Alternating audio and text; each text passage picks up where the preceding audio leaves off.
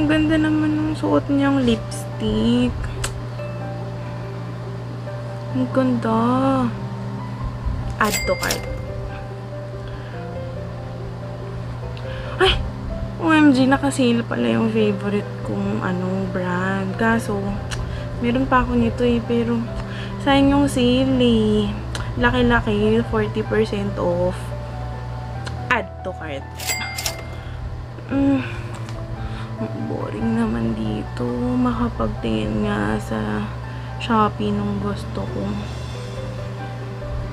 Uy! Ang cute-cute naman nito. Add to cart. Oh, ka-relate ka, no? Hi guys! Welcome back to my channel. Ay, ano ba to? Hi guys! Welcome back to my channel. This is Fra. And, yun nga, welcome back to my channel. ano, wait lang. Bago pala tayo magsimula, kung bago kayo sa channel ko, don't forget to click the subscribe button below and the bell beside it para lagi kayong updated.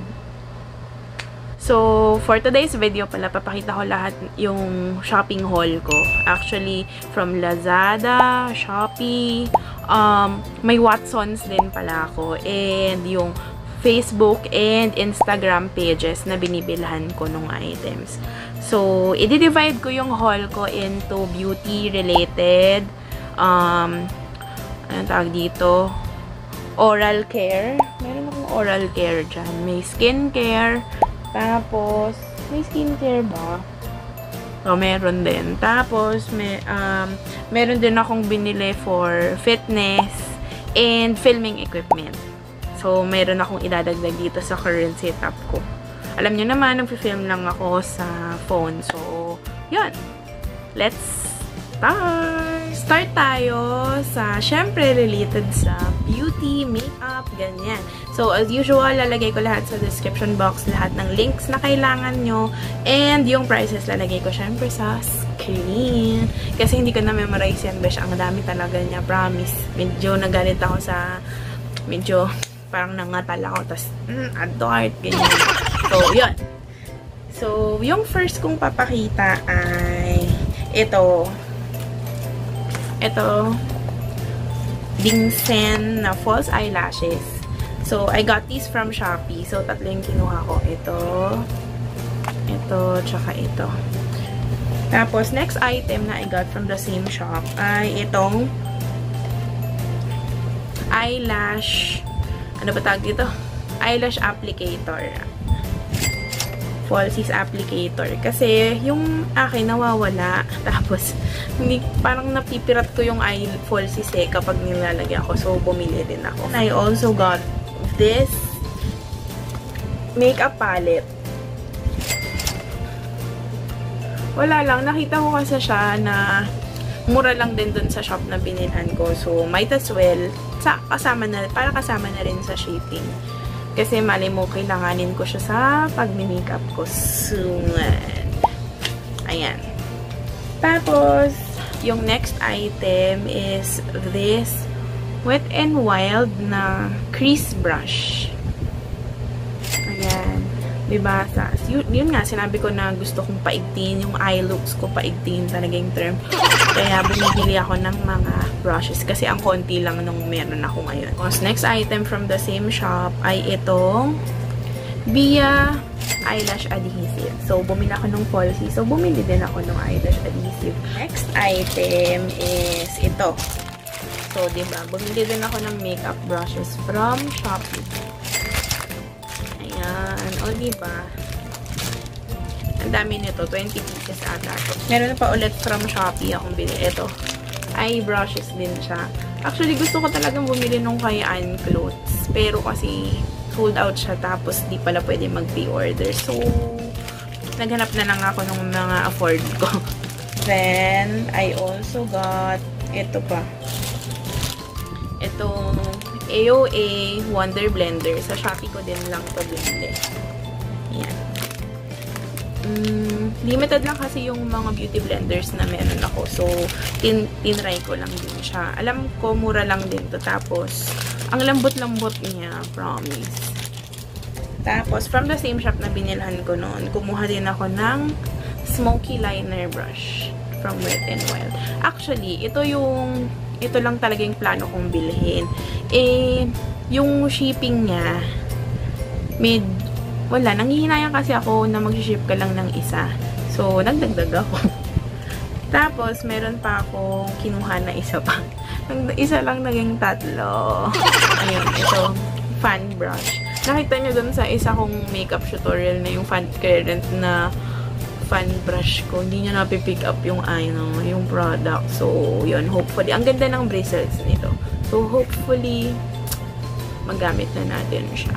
And next item that I got for beauty ay from Elana. Yung Elana Cosmetics na na store. So, umorder ako sa website nila and I got three items. Actually, I ordered four, pero yung isa kong binili, yung cream to powder nila na foundation, um, out of stock yung shade na binili ko. So, tatlo lang yung dumating. So, yung first item that na binili ko ay itong Elana na lip scrub. Strawberry vanilla na lip scrub. Sobrang important na may lip scrub ka, lalo kung kagaya kita na mahilig mag-lipstick para mag maganda pa din yung lips mo, hindi siya nagpapa, hindi siya nagiging dry, gamamit ka nito. I also got this Glass Skin Glow M&M Spray. Basta nakita ko to sa ano nila. And maganda siya. Tapos, eh, gusto ko ng, minsan, kasi yung mga foundations na meron ako is matte lang. Hindi kasi ako bumibili nung medyo parang dewy-dewy, ganyan. Kasi nga, oily ako. Nakita niyo nan, wala akong makeup ngayon. Lipstick lang. Para hindi lang ako mukhang, ano, hindi ako mukhang bangkay. hindi. So, ito, tinry ko. Tapos, yung last item na I got from Ilana is this one. Yung mineral, mineral tuloy Blur Plus Oil Control na primer. So, nakita ko yung reviews nito. Maganda daw siya. And I have oily skin. Diba, currently, yung ginagamit ko lang is yung Peak FX. So, try natin kung okay ba to. Next items that I got are from Watsons. So, I got these final powders from Nichido. So, meron ako nung pang bronzing. And ito, final powder in creamy glow. Akala ko kasi, itong creamy glow, bumili ako nito. Kasi akala ko, nawawala yung existing ko. Eh, yung pala, naipit siya dun sa isa kong bag. So, ayun, na doble. Eh, hindi na, wala naman. 150 lang naman to. So, stock ko na lang. Tapos, napabili ako nitong bronzing powder. So, got these from Watsons. Grabe, ayan o, nakita nyo sale. Kasi, alam nyo, favorite ko tong lip liners ng Everbilena. Ang ganda kasi nito. Creamy siya. Tapos, maganda siya mag-light sa lips. Yun. And I got this for 49 pesos each lang. Ito, natandaan ko talaga yung presyo nito kasi 49 lang. So, bumili na ako. And alam nyo naman, ang favorite kong shade ay ang Toast of New York. And I also got itong Dusk. And yung Vogue Diva. Ayan. Ito, bumili ako nitong Life Cosmetics na Stardust Palette. Diba, ang ganda nung ano, ang ganda ng packaging niya. Very, very gold squatch. Hindi ko alam. Basta ang ano, no, ang bata. Cute. Tapos, nasa sinwatch ko na din to sa store. Tapos, ang ganda niya. Nagustuhan ko siya. Itong tatlong to, I got this from Metro kahapon lang. So, I got this uh, Detail Makeover Eyes on You. So, eyeshadow base siya. I also got these two, um, again, from Blythe Cosmetics. Ito yung, anong tawag dito? Starlight Eyes. So, kinuha ko yung dalawang shades. Yung 203 tsaka 202. So, may nakalimutan pa pala akong ipakita sa inyo na items na I got from Shopee. So, ito ay binili ko tong tatlo nung Maybelline Brand Day. Kasi sale sila ng 30% off. Ayun. So, ito, I got the Fit Me Matte Poreless Foundation. I'm in the shade 128. Yun. I also got itong Maybelline Fit Me na sand, yung concealer na sand Actually, kasi yung ginagamit ko ngayong Fit Me, ka-shade ko siya. So, I tried getting something na lighter para sa pang-highlight ng under eyes, yung ganun. And also, I got this ink crayon, super sting ink crayon in the shade Make It Happen. Ang ganda ng, well, dun sa picture, ang ganda ng ano. Hindi ko pa siya natatry. I actually have two others nito.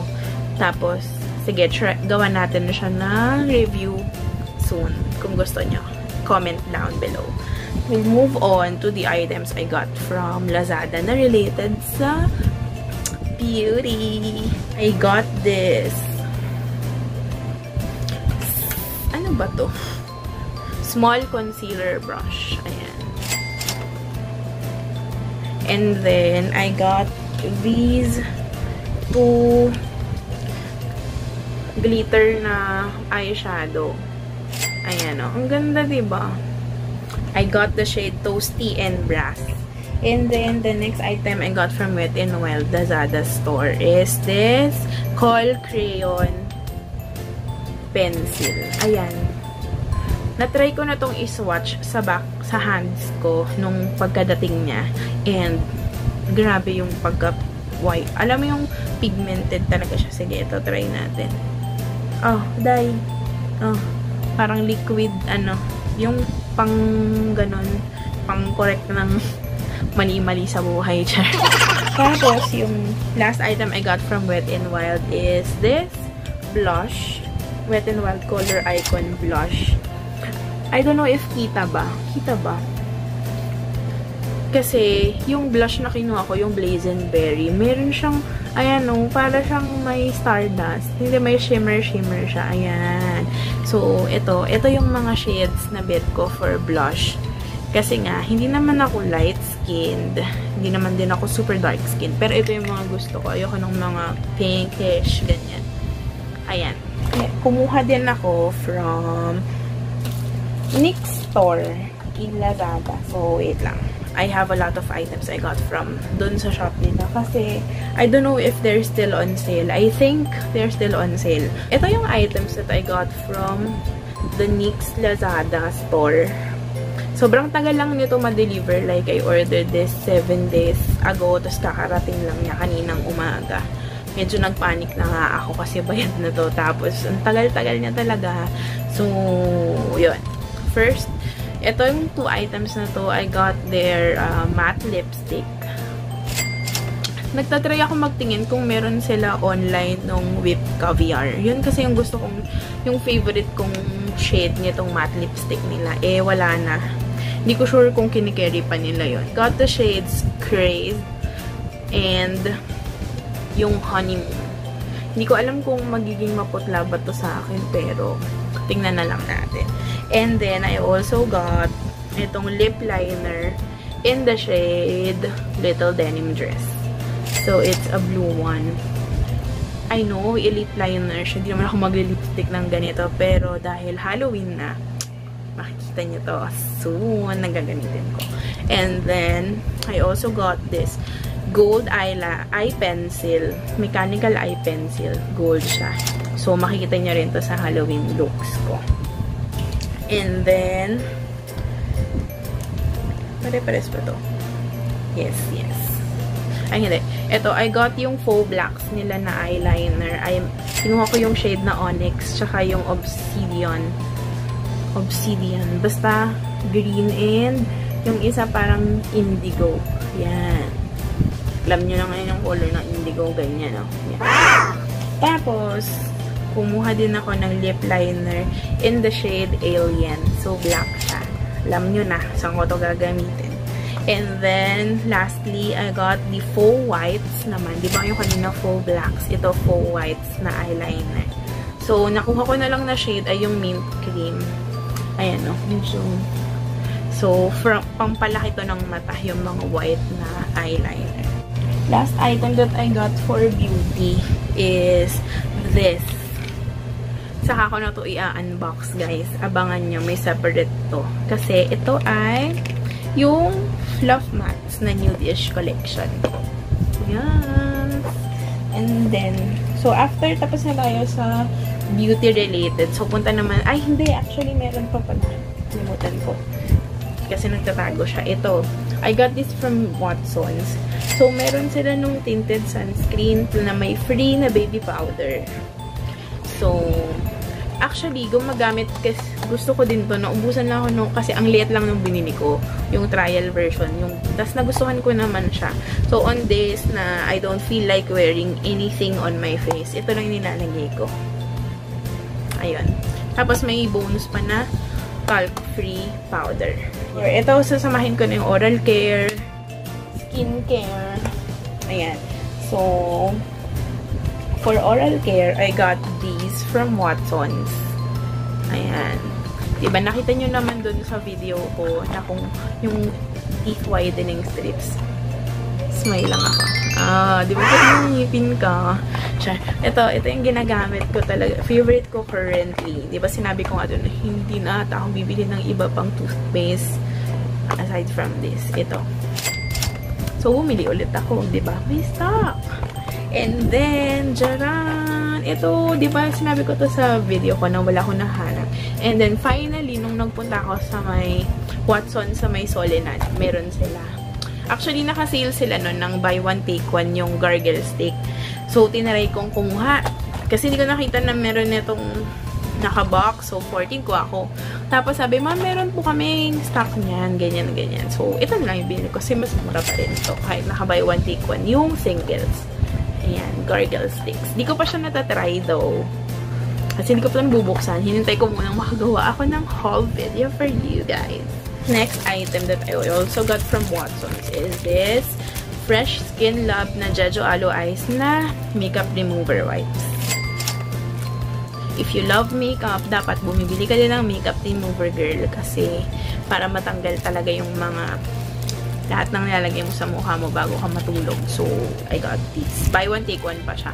The last item that I got for beauty is this one. Yung Mamala White Beauty Soap. Nakita ko lang to sa Facebook na may magagandang reviews. Tapos, nakakatanggal daw ng stretch marks. Alam nyo naman, meron tayo yan sis. So, abangan, itatry ko to, tapos isi-share ko sa inyo if effective ba siya sa akin or hindi. Meron pa pala akong related sa beauty na binili sa, sa Shopee. Kakainis, hindi nakaayos. Ano ba? So, ito, jaran. Nakita niya na to. Marami, marami ako nakikita ads nito sa, sa Facebook or something. So, hinanap ko siya sa Shopee. Kasi medyo pricing nakita ko sa Facebook parang 1,000 plus. So, hinanap ko siya sa Shopee. Ito siya. Try natin siya sa mga susunod nating videos. Kasi whole video lang to, di ba? Ayan, jaron. Excited ako dito. Alam niyo naman, kahit kulot ako, may days pa rin na minsan gusto ko straight, tas may kulot-kulot yung lulo. So, bumili ako. Nabili ko ay related sa ito na. Let's get physical, physical. Joke. Hindi, medyo goal ko din kasi na magpapayat. Alam ko, oo na taba ako. Ano kailangan sabihin sa akin. So, next items that I got for fitness is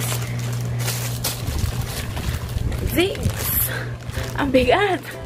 Ayan. Ito. So, ito yung first item that I got. Ankle weights siya from Beauty Band PH. So, IG store siya na merong nagtitinda siya ng mga yung booty, ano, booty bands. Yun yung pangalan niya, di ba? Diba sa ito, I got itong ankle weights. Yan. Tapos, I also got itong sweat sleeves for the size ata itong kinuha ko. And then, itong power sliders. Ayan. So, na, parang ganyan naman siya, tapos mag-slide-slide ka. Ganun, yun. Tapos, lastly, for this haul video, bumili ako ng pang filming equipment. Nakita nyo naman, umaasa ako sa liwanag ng araw. Eh, ngayon nga medyo dumidilim na. Kasi maulan. So, ito yung next item that I got. I bought this from Lazada. Ring light. Ayan. Hindi ko na siya i-unbox dito sa video na to. Separate na lang. So, yun. Para makita natin kung okay pa siya. And then, yung last filming equipment na binili ko, additional, is ito. Yung Ulanzi. Ulanzi. Char. Ano bang tawag dito?